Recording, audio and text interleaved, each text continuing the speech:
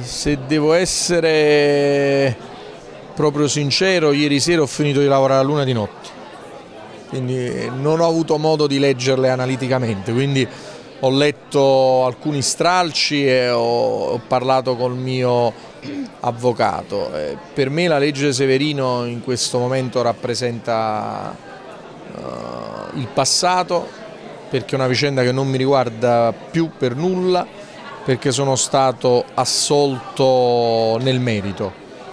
Quindi adesso la questione Severino è una questione che attiene secondo me al legislatore, che credo che la Corte Costituzionale sotto diversi aspetti abbia messo una parola fine.